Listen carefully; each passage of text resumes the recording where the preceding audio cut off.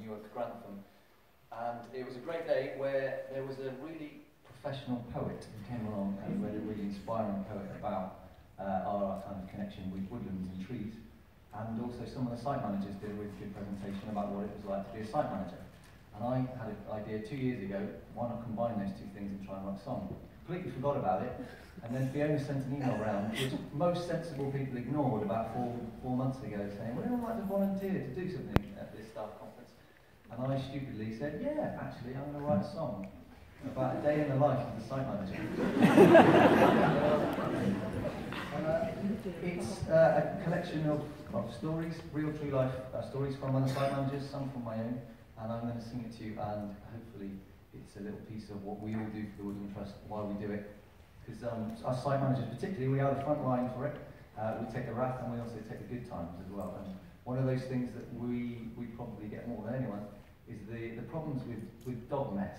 uh, those lovely little bags that hang on trees, I think unites us all in our hatred of what's wrong. So um, uh, I've written a song about being a site manager, and uh, this is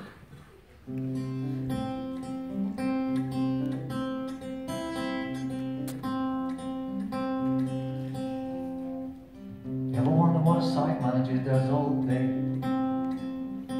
Ever wonder what a site manager does all day?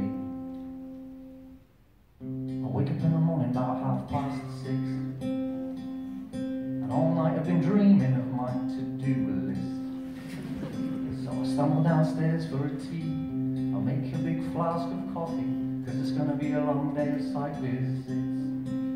Site visits.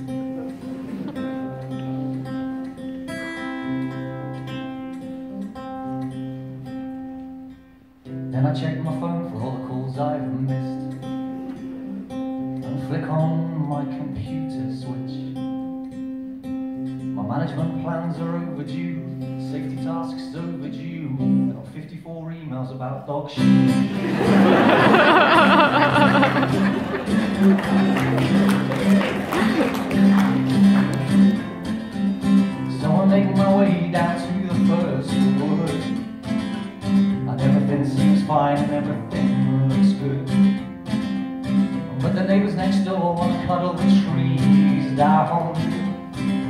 Apparently at night they hear some strange sounds And the leaves keep clogging all their drains, and cars keep blocking their driveway, and all hanging dog bags are bringing them down. And at the latest parish council meeting, they started a petition for a dog waste bin.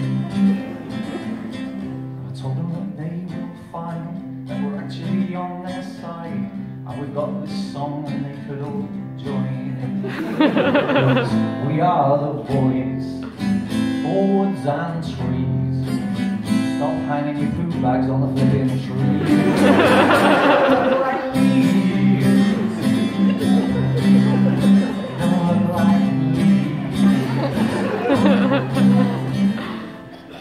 and my second site visit, the car parks two sofas and a chair, an old TV and a pair of high heels and a wonder bra.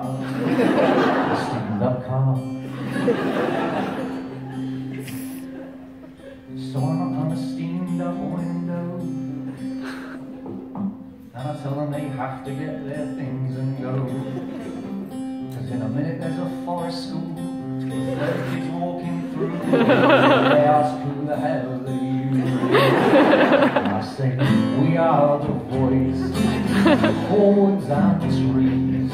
Stop throwing knickers in the flaming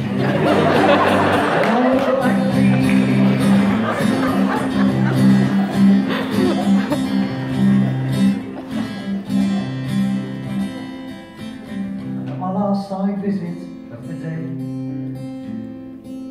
I meet all the locals about our new campaign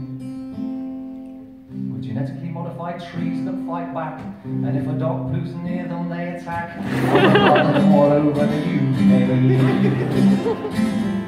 And the world's media become obsessed.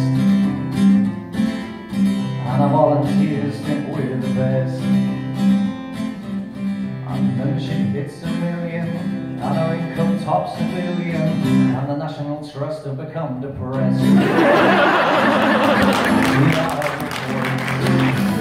forwards and trees. Finally, the whole world will agree. Better than trees.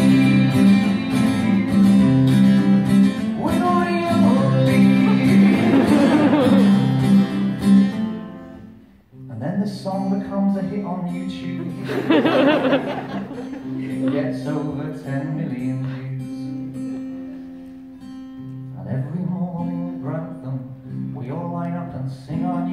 song about dolphins. we are